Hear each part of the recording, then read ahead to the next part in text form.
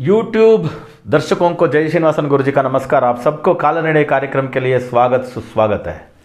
गुरु ब्रह्मा, गुरु विष्णु गरदेवो महेश्वर, गुरु साक्षात पर ब्रह्मा तस्मै श्री गुरवे नम।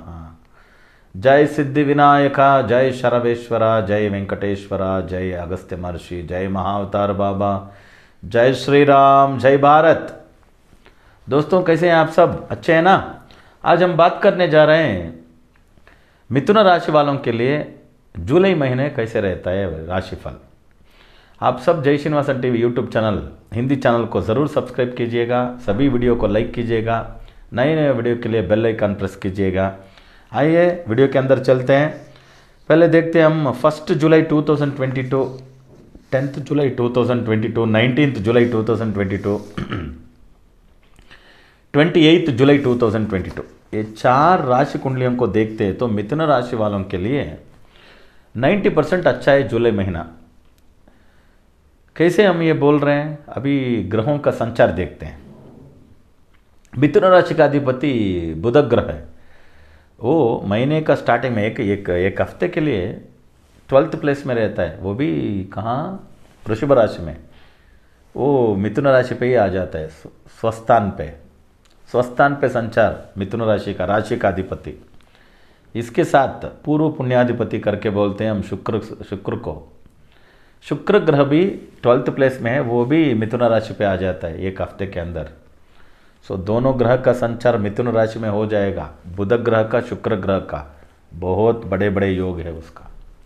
इसके साथ नाइन्थ लॉर्ड नवमाधिपति करके बोलते हैं, भाग्याधिपति करके बोलते हैं वो महीने का स्टार्टिंग महीने का एंड तक ऑलमोस्ट एंड तक नाइन्थ प्लेस में रहता है महीने का एंड में अंत में महीने का अंत में वो मकर राशि पे आता है फिर भी ये बहुत अच्छा है क्योंकि बुध शुक्र शनि का संचार मिथुन राशि वालों के लिए जुलाई महीने ऑलमोस्ट अच्छा है और मंगल ग्रह और बृहस्पति गुरु ग्रह दोनों मिथुन राशि के योग देने वाला ग्रह नहीं है फिर भी दसवीं घर में और ग्यारह, टेंथ प्लेस में और इलेवेंथ प्लेस में।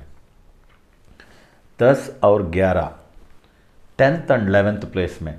वो भी स्वस्थान में संचार कर रहा है, मंगल और बृहस्पति। सो ये कारण रख के हम बोल सकते हैं 90 परसेंट मिथुन राशि वालों के लिए अच्छा हो जाएगा। क्या क्या कैटेगरी पीपल को कैसे रहता है? जो पढ़ाई कर रहे हैं हायर एजुकेशन के लिए अब्रॉड जाना है फॉरिन जाना है, हो जाएगा। स्टेट टू स्टेट क्रॉस करके, महाराष्ट्र में पढ़ रहा है, कर्नाटक में जाके हायर एजुकेशन करना नहीं तो गुजरात में करना नहीं तो दिल्ली में करना हो जाता है।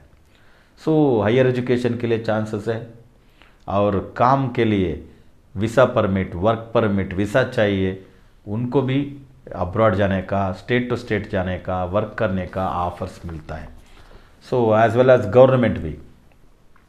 जो कृषि करते रहते हैं व्यवसाय करते हैं जो कृषि करते हैं ना सो एग्रीकल्चर सब लोगों के लिए बहुत अच्छा है।